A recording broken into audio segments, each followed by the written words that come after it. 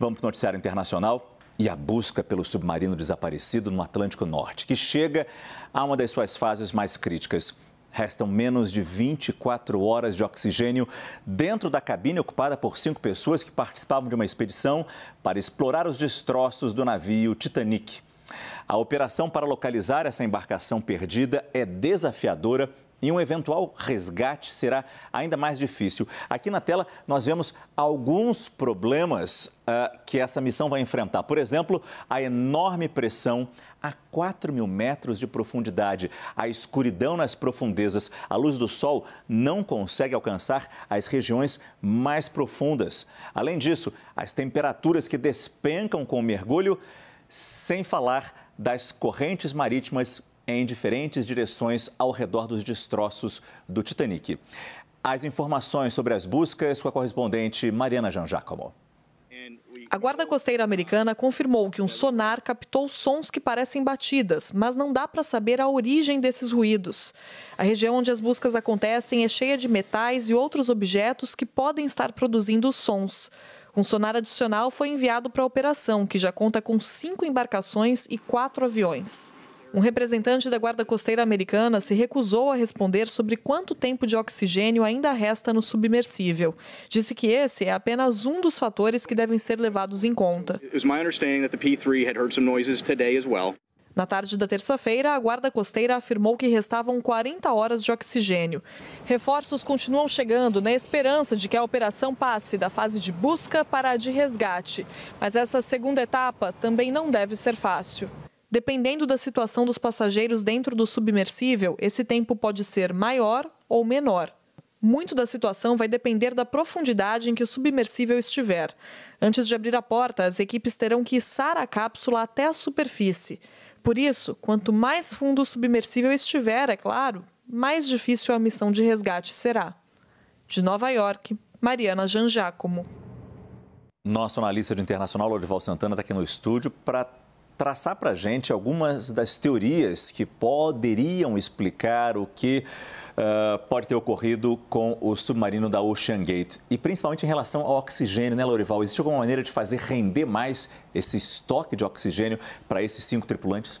Desses cinco tripulantes, Márcio, três são bastante experientes. Né? Está o próprio CEO da empresa, uhum. né? o dono da embarcação, está um piloto britânico, o Hamish Harding, e está um ex-oficial da uh, Marinha Francesa, o Paul-Henri Narjolet, que tem 77 anos de idade. Uma das hipóteses, inclusive, é a de que esses é, eventuais, se forem confirmados os sinais sonoros, podem ser emitidos por esse oficial, ex-oficial francês, porque ele poderia estar seguindo um protocolo de comunicação, né, de pedido de socorro. Isso é apenas uma especulação, não sabemos se de fato esse sinal vem da, da embarcação. Com relação ao oxigênio, se tratando de três dessas cinco pessoas terem bastante experiência, eles podem estar executando é, uma manobra para, é, para economizar oxigênio, que consiste basicamente em ficar o mais quieto possível, em não uhum. falar,